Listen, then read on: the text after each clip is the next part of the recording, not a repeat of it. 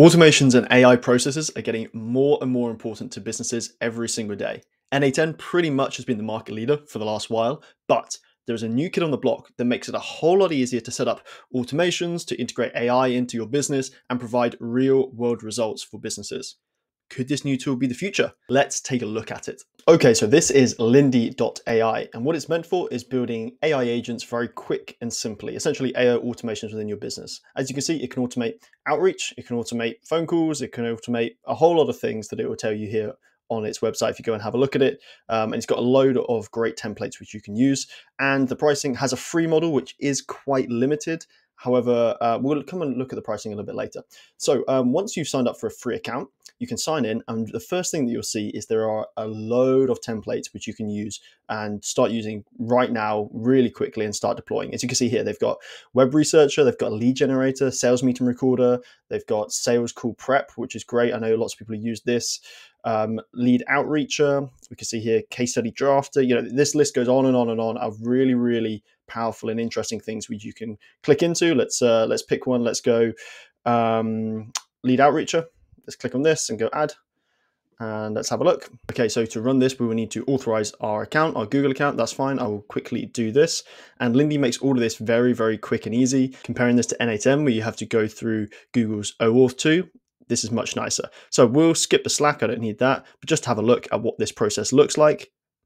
Uh, if we come here to Flow Editor, you can see here that just by using this template, we've got like a pre-built flow, which looks like um, either when a new row is added, I imagine this is to a Google Sheet where you have all your leads, or it looks like you can chat with it via message. It's going to send the first email, uh, which it looks like it's going to use AI to generate the content. It's then going to wait some days and send a second one. If it doesn't get a response, then wait another couple of days, send a third one, uh, and then cancel and update via Slack um, if there's still no response, or if there is a response, update via Slack. So you can see here, it's got a load of really powerful templates that you can use right off the bat. However, let's go and create our own one from scratch. And what I'm going to do is I'm going to create one. Uh, yep, that's fine. I'm going to create an automation which I've already created in n8n, and this is going to allow me to compare the two really well. So what I'm going to do here is create an automation or an AI agent where I can handle all of my to-do items which are in Notion. So here I am within this new flow. My trigger I'm going to select is chat with this Lindy. So this is going to be a essentially a chat interface within Lindy on the Lindy platform. And I'm then going to have an AI agent.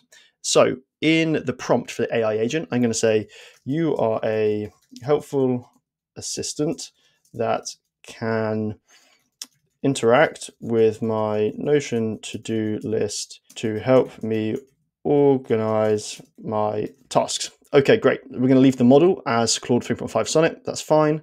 One thing about Lindy is that you do not pay for the AI tokens out of your pocket. You are paying for those through your uh, Lindy fees, essentially. So again, we'll come back and look at the pricing in a minute, but within this price or this price, you are paying for credits, which don't exactly equal um, AI tokens, but it's more or less, it's more or less the same. So coming back over here, that model's fine. And the skills is where we're going to add uh, what essentially are tools, which allow us to interact with whatever we want to interact with. So if I go on skills and go on Notion, find my Notion, as you can see here, if I get rid of, sorry, if I go back and have a look at all of the skills, you can see here we can connect with a load of different things, you know, just a massive list of integrations. And all of these integrations are really, really nicely set up. On n8n, it's a bit of a pain to set things up, such as um, Google and Google's OAuth you know, just a pain. However, these are much, much easier. Same with Notion, actually. Let's have a look at that. So if we go Notion, um, and you can see some of these are premium. So you do have to pay for a premium account in order to use some of these premium actions. However,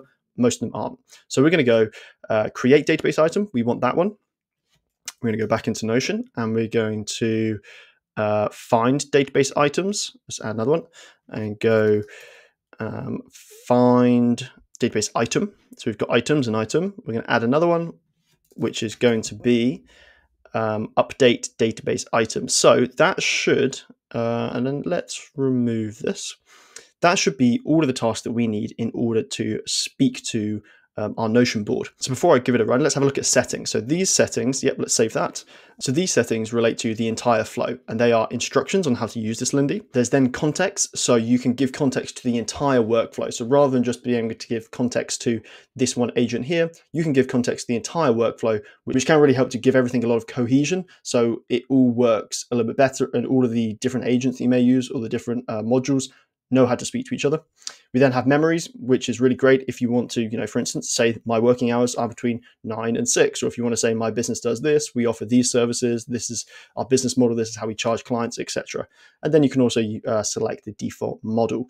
However, let's uh, go back over to tasks and let's see if we can give it a run. I have not set up any um, integrations with Notion, so I imagine that's not going to work, but let's see. Let's say what is on my to-do list. So I imagine it's not going to be able to get anything because we haven't set up that connection. So there we go. It's asking us to connect Notion and it's got a really nice interface. Let's close that and say connect Notion. So it's then going to bring us to Notion and we're going to quite easily be able to select which pages we want to give it access to. So yep, that's fine. So I've scrolled through all my pages and I found the one that I want to give it access to and I'm going to simply click allow access. And you'll see this is much, much simpler than how we would do it in N8N. So it's now going to go off and do it. And you can see here, it tells you how many credits it's using. So it's used 1.5. Um, and you can see down here, this comes away from our total. And you can see here that it has given us a summary of our jobs to do. And if we have a look at Notion itself, you can see these are correct. Those are the correct jobs here. Great. So we can go back over to here and say, okay, can you add a work task for me saying to invoice Jeff. Click go. It's going to spend a little bit of time thinking about it. I'll help you add a new work task for invoicing Jeff. I'll add the task. I'll add the task to invoice Jeff as a work task. Since it's related finances, I'll set it as high priority, and it's created that database item. Uh, it's very chatty, as you can see. Um, if we go back over to here, we can then see that invoice Jeff has been given this priority, and we can now say um, add the due date of, let's say, uh, 3rd of May and send that off. And I'll update the invoice Jeff task to add a due date of the 3rd of May 2025. If we go back over, um, it hasn't done it yet. Let's see if it's just taking a second. So there we go, it's just doing it. Uh, I've updated it. If we go back over, there we go. It's now got that deadline. So if you do work with N8N, you will see that it's much, much easier to get an automation up and running like this than it is with N8N. This is super quick, super easy, and it's got a really nice user interface. And one really great thing is that if you are a business, you can simply create all of these automations, all of these agents, and you can come in and you can chat with these agents. You can create different tasks. So you have different conversations and you have them all in one place. That's one thing I really love about Lindy. Okay, let's create another automation, another agent. And this time it's another very highly used one, which is a calendar manager. So if we go new Lindy, and then we are going to start from scratch. I'm sure they've got one, but I'm just going to start from scratch just to see what it's like. And my trigger, again, is going to be chat. However, you can see we could use any of these. Um, yep, we're going to go chat and we're going to go agent again. You don't have to go agent. You can create um, simply logic based processes like you would with Make or Zapier or N8N. However, I'm going to use an agent because that's you know essentially what the interesting part is. The rest of it is basically the same. It does have good integration with knowledge bases as well. However, let's just have a look at this. So the prompt this one is going to be you are are a hopeful assistant that can help manage my calendar. The skills that we're going to give it are Google Calendar. And let's see. Okay, so we are going to add um, check availability. Let's add that one. Let's go back to calendar. I wish they would make it so you don't have to type it in every time. Let's go create event. Um, I'm not sure we need anything else. Let's have a look. Okay, let's go delete event and I'll add another one and we'll go get event details. And as you can see, there are some again, which are premium. Um, we'll go get event details. There we go. And there we go. We are going to turn this on and we are going to go back over to tasks. And I'm not sure whether we need to set up uh, authentication because we already have signed in with the same Google account. But let's say, um, what events do I have on today? Now, if I have a look at my calendar, I have nothing on today. So let's see what it says. Okay, so we need to connect it. So that's fine. Let me connect it here. Again, this is much, much simpler than when you do it with N8N. So go continue. We'll give it access. And that is as simple as it gets. So there we go. Based on your calendar, it looks like you have no event scheduled for today. Fantastic. So let's say, um, please can you put in my calendar that I have a paddle match at 6 p.m. today. Oops, misspelled today, but hopefully AI is clever enough to deal with that. Okay, so it looks like I need to connect it again. So let's go through and do this. Looks like I have to re-authenticate it every single time I want to do a different thing, but uh, hopefully that's just a one-off. There we go, it's added a paddle match, and if I go over to my calendar, we can see I've now got a paddle match at six o'clock. I can then go in and I can say something like, um, please edit it so that it lasts uh, 90 minutes. And we'll send it off to do that. Okay, it's deleted that event and created a new event. I wonder if I gave it access to edit events. Um, I didn't. Okay, I didn't give it access to edit events, so the way that it's dealt with that is deleting it and adding a new one, which I suppose does work. And there we go. That paddle match is now 6 to 7.30, although uh, we did delete it and add it back. better way to do that is just editing it. So let's see if we can go into the flow and if we can go calendar and let's see if edit um, is in there update event. There we go. That's what we need. Great. So if I go back over and I save this, go to tasks and I say, uh, actually move this to tomorrow. Now, hopefully it's not going to delete it. It's just going to update it. There we go. It's going to update it. Perfect. So let's have a look. And it's not today. It is tomorrow. So there you can see, again, really, really quick and easy to create these simple automations within Lindy, much, much simpler than with N8N. However, you can see that we do not have anywhere near as much versatility in what we can create. We've got this prompt here, and we also have the prompt in settings uh, or the context in settings. However, you can't really play with it as much as you can with N8N. And you'll also be able to see that we are using our credits down here. And even though we're not paying for AI credits, because that's essentially what our credits are, um, we still have a limit and they're still being counted towards that credit limit. And when you take into account the pricing, you're actually paying quite a lot for these credits for the, what they actually are. So the lowest monthly cost is $50.